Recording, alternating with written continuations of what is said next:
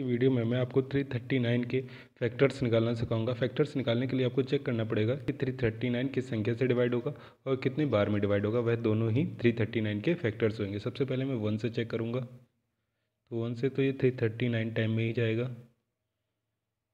Okay जिससे divide हुआ, जितनी बार में डिवाइड हुआ, दोनों ही थ्री थर्टी नाइन के फैक्टर्स हुए।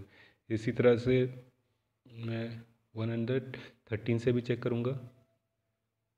तो वन हंड्रेड थर्टीन से थ्री थर्टी सॉरी थ्री से चेक करूँगा तो वन हंड्रेड थर्टीन टाइम में जाएगा।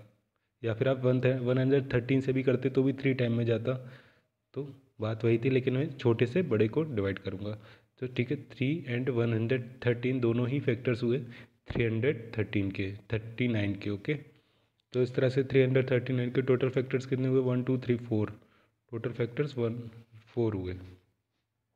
और अगर आपको थ्री थर्टी नाइन के फैक्टर्स की वीडियो अच्छे से समझ में आई हो तो प्लीज़ मेरे चैनल को लाइक एंड सब्सक्राइब करना ना भूलें।